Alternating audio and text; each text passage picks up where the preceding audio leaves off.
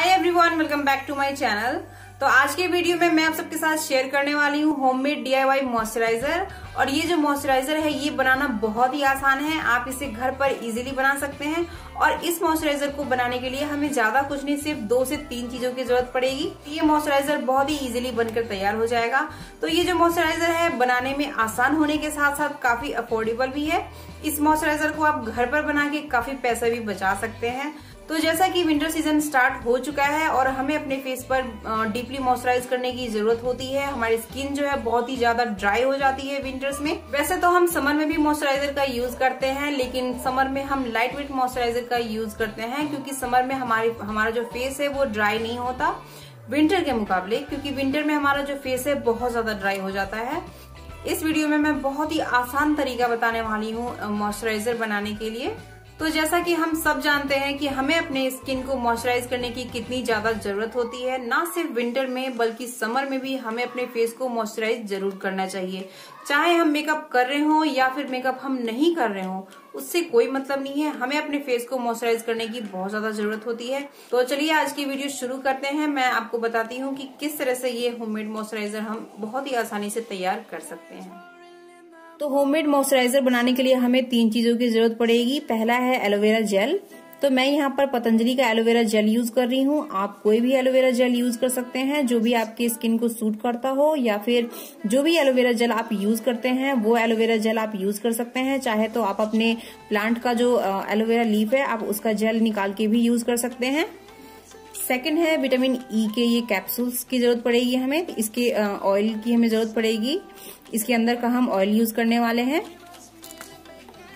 और थर्ड जो चीज़ है वो है मैं यहाँ पर यूज़ कर रही हूँ कोकोनट ऑयल आप यहाँ पर कोई भी ऑयल यूज़ कर सकते हैं जो भी आपकी स्किन को सूट करता हो जैसे कि आप आलमंड ऑयल यूज़ कर सकते हैं ऑलिव ऑयल यूज़ कर सकते हैं या, जो भी आपकी स्किन को सूट करता है वो आप यूज़ कर सकते हैं। तो सबसे पहले हम एक जार लेंगे। मैंने यहाँ पर ये ग्लास का जार लिया है। इस पे मैं अपना होममेड मॉइस्चराइजर बनाने वाली हूँ।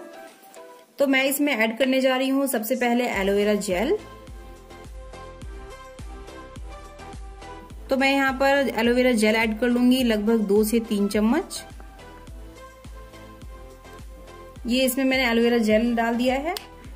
तो मैंने इसे धूप में रख दिया था और ये अच्छे से मेल्ट हो चुका है।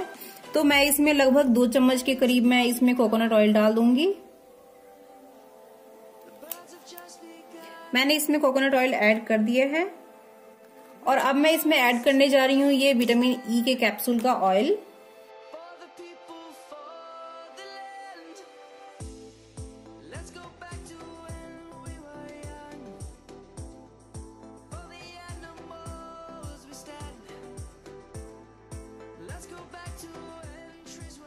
अब हम इन तीनों को अच्छे से मिक्स कर लेंगे।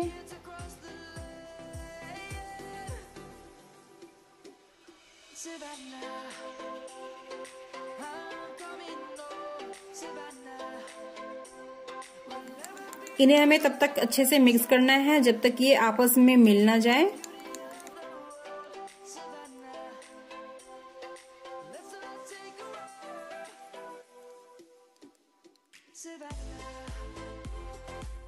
तो आप देख सकते हैं, ये अच्छे से बिल्कुल मिक्स हो चुका है।